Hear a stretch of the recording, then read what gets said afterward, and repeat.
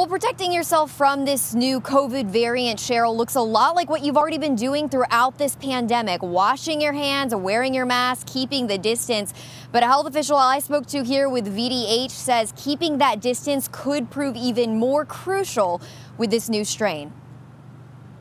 A new variant of the COVID 19 virus called B117 is believed to be more contagious based on observation by scientists. I think soon probably we'll be seeing it in more places. It'll be more common throughout even our state. But just how much more contagious? At this point, all we have is conjecture. Is still left to be determined. The first case of the variant was reported in Northern Virginia on Monday in an individual with no recent travel history. That would mean that there's already community spread. Rebekah Butterfield, epidemiologist with the Richmond and Henrico Health Districts, says that's not cause for alarm and actually to be expected but just another reason to play it safe. Right now, the same things that have protected us for the last year really continue to protect us. And with the spread of this new COVID strain, some are asking, should I layer up and wear two masks, one on top of the other?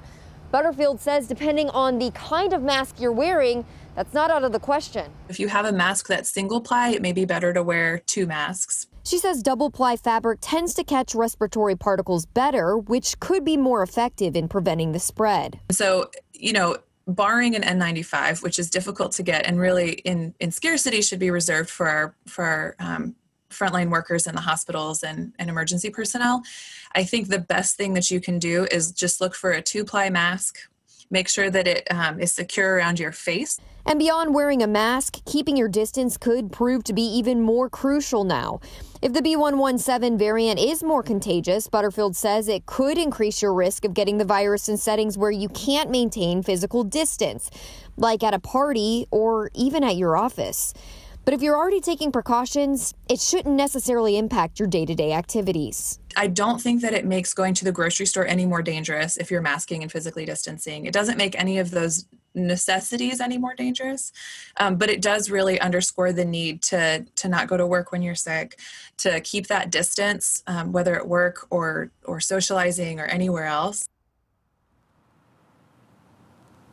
All good advice. And the most important thing she says when it comes to mask wearing is simply that you do have a mask, that you are wearing it, that it fits nice and snug over your face.